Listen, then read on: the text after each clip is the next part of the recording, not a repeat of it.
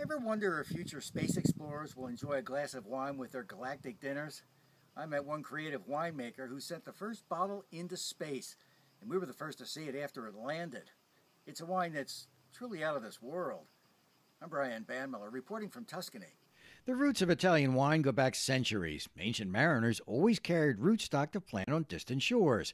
The Spanish planted European varietals in the New World, but Italians went a lot further. Winemaker Niccolo Incisa convinced the European Space Agency to shoot his Sassicaia rootstock from the famed Tuscan winery into orbit on an unmanned mission back in 2005 to determine the effect of weightlessness on plants and to see if vines could grow in space. On return, the vines were replanted in Bolgheri, where experts continue to monitor their growth. To commemorate the event and get their brand into space first, Incisa created a specially shaped bottle of his famous wine for the trip.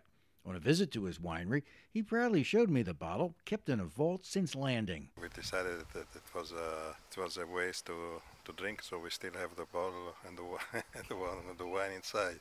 Small because weight is critical in space. Incisa estimates this bottle could fetch a million dollars at auction, but he's not selling. He wants you to buy his wine in space. We expect that uh, in the future a lot of uh, people will travel in the space and uh, uh some trips will last uh, maybe over five, six uh, months.